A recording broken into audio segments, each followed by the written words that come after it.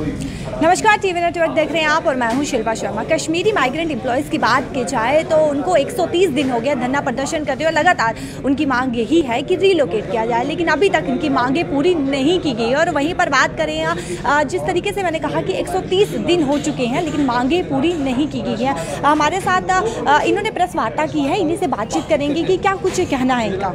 किस मुद्दे को लेकर आज आपने जो है प्रेस कॉन्फ्रेंस देखिए हम 130 दिन से लगातार धरना प्रदर्शन कर रहे हैं। जो घाटी के हालात हैं वो सामान्य नहीं है आज पर्टिकुलरली कश्मीरी पंडित्स के लिए जो मुलाजिम है वहाँ पे जॉब कर रहे हैं। क्योंकि 12 मई से और उससे पहले 21 अक्टूबर से जो हत्याएँ ऑफ़िस में जाके हो रही हैं जो इंसानियत को शर्मसार कर रही है उसकी वजह से इसी इन घटनाओं की वजह से हमारे दिल और दिमाग में इतना डर का माहौल बैठ गया है कि आज की डेट में हम वहाँ की तरफ़ जाना नहीं चाहते, ना हमारे कदम वहाँ की तरफ़ जा रहे हैं। लेकिन इसी दौरान हमारे पास डीडीओ से ऑर्डर आ रहे हैं कि कृपया करके यहाँ पे आ जाइए वरना आपकी सैलरी रोक दी जाएगी और आधों की सैलरी रोक भी दी गई है। आधों को ये बोला गया है कि आप अनऑथराइज एबसेंट हैं अगर आप पोजीशन अपनी जस्टिफाई नहीं करते हो तो फेस द कॉन्सिक्वेंसेस एक तरफ़ से उसको थ्रेट परसेप्शंस हैं जो।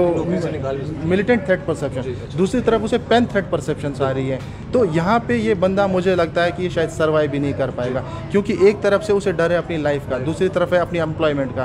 तो ये बीच में जाए तो जाए कहाँ। इसीलिए सरकार से गुहार है कि वो इसमें बहुत जल्द से जल्द इंटरवीन करे और इस मुद्दे को हल करें। हमारी डिमांड्स डे वन से यही है। हमें रिलोकेट किया जाए या अटैच या डेप्यूट या डेप्लॉय किया जाए रिलीफ कमिश्नर्स ऑफ़िस में या जम्मू के कैंप ऑफ़िस में या अदर संभागों में। मैं बताना चाहूँगा लोग इसमें समझते हैं कि इतनी पोस्टें यहाँ नहीं है लेकिन हमारी पोस्ट सुपर न्यूमररी पोस्ट है। सुपर न्यूमररी पोस्ट एक एडिशनल पोस्ट होती है। ये सेंक्शन स्टाफ स्ट्रेंथ से ऊपर की पोस्टें होती है। इनको आप कहीं पर भी रख लीजिए।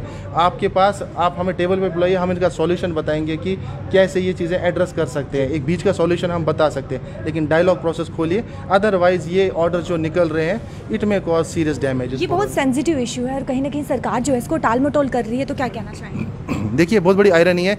चार महीना कश्मीरी पंडित किसी धरने पर बैठना एक अहम बात नहीं है।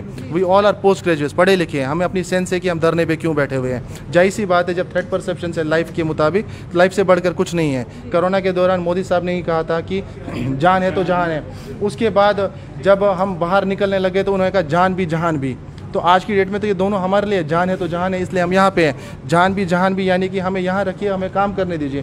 कुछ रूल सिर्फ़ बाहर के लिए लागू हो रहे हैं हमारे लिए क्यों? मैं ये मानता हूँ कि जब जे के बन गई है जे के में ऐसा क्या डिवीज़न क्रिएट करना है कि आप एक वहाँ ड्यूटी कीजिए एक यहाँ। It is a union territory union territory में डिविजन्स नहीं हो सकते हैं। कोई भी कहीं भी ड्यूटीज़ कर सकता है। अगर मुझे वहाँ थ्रेट का माहौल लग रहा है इट्स नॉट मी हमारे पास सोलह से ऊपर कंसेंट फॉर्म से हमारे सारे एम्प्लॉयज़ आज स्ट्राइक पर बैठे हुए हैं। इसी वजह से कि हमें यहाँ पे 130 दिन हो चुके हैं। अब और कितनी उम्मीदें आपने लगा आप लगा रहे हैं कि आ, सरकार जो है हमारे हक में फैसला जो है सुनाएँगे रिलोकेट किया जाएगा? देखिए इंडेफिनेटली जाएगा ना क्योंकि कोई सॉल्यूशन तो है नहीं।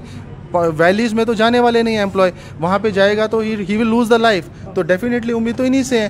तो वी आर वेरी श्योर कि ये इन पे एड्रेस करे इस डिमांड को। और अगर काम कर रहे हैं तो प्लीज़ हमें बताइए आप कुछ काम कर रहे हैं इस पर क्योंकि अभी आज की डेट में हमें ऐसा लग रहा है कि they are playing a deaf ears to our demands उन्होंने अभी तक ना हमें कुछ बताया है, ना हमें किसी ज़रिए से कोई खबर पहुँची है कि हमें करना क्या चाहिए। हम यही आश में थे कि शायद कुछ होगा कुछ होगा। लेकिन ऐसा उम्मीद नहीं थी कि अब ऑर्डर्स भी आने लग जाएँगे। आइए ज्वाइन कीजिए। जब इन्हीं डी से पूछते हैं कि सर हमें सेफ्टी की एश्योरेंस दे सकते हो? आप वो कहते हैं हमारे डोमेन से बाहर है।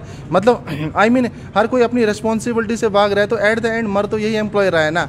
तो ये बहुत सीरियस मुद्दा है मैं चाहता हूँ आपके तो थ्रू क्या क्या लगता है आप आपको कि क्यों नहीं हो रहा? क्या कारण मानते हैं? देखिए शायद अब अब हमें भी तो नहीं पता कि गवर्नमेंट की कॉम्प्लिकेशंस क्या है इसके मुताबिक। अगर वो हमें अपने स्टेज पे बुलाती है तो एक डायलॉग प्रोसेस समझ आता है। हम भी उनकी सुने कि क्या प्रॉब्लम्स कहाँ पे आ रही है। तो, तो कभी हुआ डायलॉग डायलॉग कुछ नहीं हो एक फ़र्स्ट डायलॉग हुआ था उसके बाद बोला था कि हम आपकी डिमांड्स को एड्रेस करेंगे बी एश्योर्ड लेकिन उसके बाद 120 दिन गुजर गए हैं आज तक डायलॉग्स ना इनिशिएट हुए। हमने काफ़ी टाइम अपने स्टेज से ये रिक्वेस्ट की थी कि कृपया डायलॉग्स को इनिशिएट कीजिए। अदरवाइज़ देखिए आज के दिन में जो धरने पर बैठे हुए हैं सारे स्ट्राइक पर इनके बच्चों की एजुकेशन भी तो सफ़र हो रही है। ये कहाँ जाएँ? एक तरफ़ से मोदी साहब हमारे जितने भी मैं उनकी नेशनल इंटरेस्ट पॉलिसी से बहुत ज़्यादा इम्प्रेस्ड हूँ। लेकिन अगर आप किसी पेट्रोटिक या नेशनलिस्ट फोर्सेस को ऐसे में बेचते हैं जहाँ पे उसकी जान का खतरा है तो मुझे लगता है इसको भी एक नेशनल इंटरेस्ट माना जाना चाहिए। जहाँ पे पॉलिसीज़ बनती है एक जानवर को बचाने के लिए टाइगर्स बचाओ हांगुल्स बचाओ, क्या आप कश्मीरी पंडित्स को नहीं बचा सकते? मुझे लगता है मैटर ऑफ़ प्रेस्टीज नहीं होना चाहिए एट प्रेजेंट जो वहाँ के हालात हैं। हमें पूरा भरोसा है आप इस पर कि जल्दी से जल्दी घाटी के हालात सामान्य हो जाएँगे। लेकिन जिस दिन सामान्य होंगे, आप ये बोल दीजिए हमारे लिए घाटी के हालात सामान्य होंगे, हम पहले होंगे जो वहाँ जाएँगे। लेकिन तब तक के लिए तो ऐसे ज़बरदस्ती मत दीजिए otherwise we lose our life और आज के आपके ज़रिए से आज बता रहे हैं। मैं चाहता हूँ भगवान से दुआ करता हूँ कि दोबारा ऐसे दिन ना देखना पड़े दोबारा ऐसी कॉन्फ्रेंसेस ना करनी पड़े इसको लेके कि हमने उस दिन ऐसा कहा और देखिए आज हुआ। तो समर्थन की बात करेंगे तो आपको पन्नन कमेटी से समर्थन मिला और किस किस कमेटी से समर्थन मिला? देखिए हमारी अपनी कश्मीरी पंडित कम्युनिटी ने हमें अनकंडीशनल समर्थन दिया है। वो ये मानते हैं कि ये भी हमारे जम्मू की तरफ़ से आपको कोई समर्थन जम्मू के लोगों का मैं हमेशा शुक्रिया अदा करता हूँ। बेशक कोई समर्थन, कोई पार्टी समर्थन दे या ना दे, लेकिन जम्मू के लोगों का हमेशा समर्थन रहता है। उन्होंने हमेशा हमें एक्सेप्ट किया है। तो मैं आपके इस माध्यम से उनका हमेशा शुक्रिया अदा करना चाहूँगा कि वो उन्होंने हमें हमेशा वेलकम ही किया। हमेशा हमेशा हमारी प्रॉब्लम्स को समझाया सिक्योरिटी को लेके बात करूँगी। सिक्योरिटी को लेके सरकार तो कहती है कि आपको सिक्योरिटी दी जाएगी आप जाइए तो सही वहाँ। देखिए आप कुछ मुद्दे समझिए।